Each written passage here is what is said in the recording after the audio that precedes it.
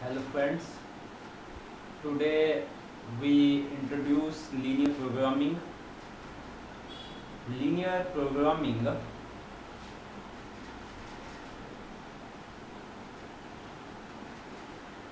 programming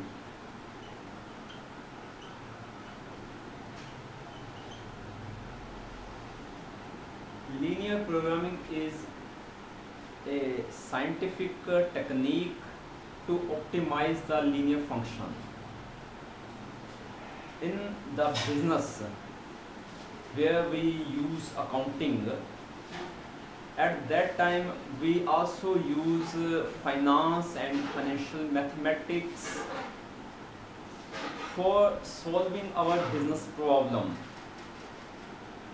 One of the best tool linear programming which is mostly used in business. With this uh, we effective use of our resources. Now we can explain linear programming with uh, a simple example. Suppose uh, we have two products x and y and uh, our aim is to uh, get profit from uh, selling these two products. Our profit rate of of uh, x is 4 and profit rate of y is 3 dollar. Both are constant but quantity of x and quantity of y can be changed because uh, x and y are variables. Suppose uh, we can uh, uh, produce uh, 20 units of uh, x and uh, 80 units of y or we can produce uh, 70 unit of x and 30 units of y. All these things will be decided on the basis of linear programming result for this uh, we have to make objective function. Z is equal to x multiply 4 plus y multiply 3 zx plus 3y it means uh, if uh, profit rate multiply with quantity uh, and uh, then we will total uh, it will be our total profit. If we solve the linear programming problem and our z will maximize we choose that quantity. Suppose we uh, but uh, we have uh, different uh, limitations uh, uh, constraints or conditions.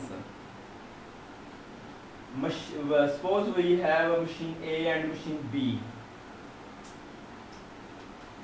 We have two uh, two A machine and three B machine and uh, for operating uh, machine A in a week uh, we need uh, 40 hours. And with multiplying this uh, we have 80 hours of machine A and 90 hour of machine B. If we use it in a week. Now we uh, find also x processing time to machine A. When we uh, uh, produce x we need to process x in uh, machine A and machine B. And its number is 2 hours and 3 hours and uh, y's processing time to A machine is 3 hours and in B machine is 2 hours. On this basis our condition is our time must not uh, more than 80 hours. And for machine A 2x plus 3y is equal to less than 80 hours. 3x plus 2y is equal to less than 90 hours for machine B. Means uh, if we process uh, x product and y product on machine B its total time must not in uh, more than uh, 90 hours. This is the structure of linear programming problem. Now we will uh, explain to solve it uh, with graphic method in next tutorial. Thank you very much.